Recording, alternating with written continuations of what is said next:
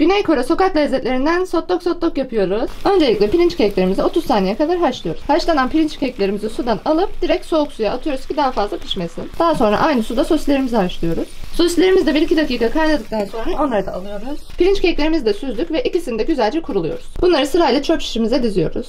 Tavamızı yağlıyoruz. Yağımız kızdıktan sonra şişlerimizi tavaya koyuyoruz. Önlü arkalı birazcık kızartacağız. Çeviriyoruz. Aynı tavada sosunu hazırlayacağız. Sos Tokyoçu'da hazırladığımız sosla aynı. Gochujang, sarımsak, ketçap, soya sosu, toz şeker ve susam yağı ekliyoruz. Bunları güzelce pişiriyoruz. Kaynayınca altını kapatıyoruz. Sosun detaylı tarifi için Tokyoçu tarifimize bakabilirsiniz. Ve şişlerimize sosumuzu bir fırça yardımıyla sürüyoruz. Sotdok sotdokumuz hazır. Tadıma geçiyoruz. Pirinç kekinin bu kızartılmış halini sevdim ben. Sosisle beraber de gayet lezzetli olmuş. Gayet güzel ya. Annemin dediği gibi biz bu pirinç kekinin zaten kızarmışını daha çok sevdik. E geçenkinden çok büyük bir fark yani. Sosis var içinde doğal olarak. Ama şeyi de söyleyebilirim. Sosisle pirinç kekinin uyumu da güzel.